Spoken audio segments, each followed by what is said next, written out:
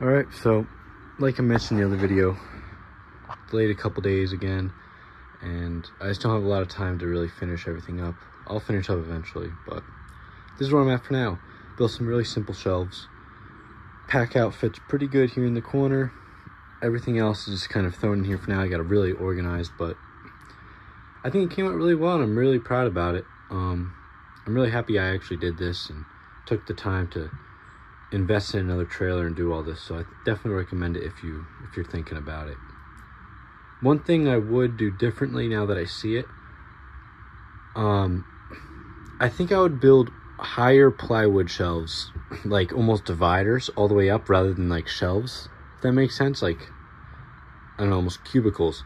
I just feel like the vertical space could have been used better. Um, I could put another shelf, but you know, that's a whole nother project for a different time. But I, if I were to start, I would just got plywood and just you stand them up tall and cut them, make like maybe two by two squares all the way down and do it that way. But came up pretty well. I changed out the door lock because the guy before lost the key. So that's nice.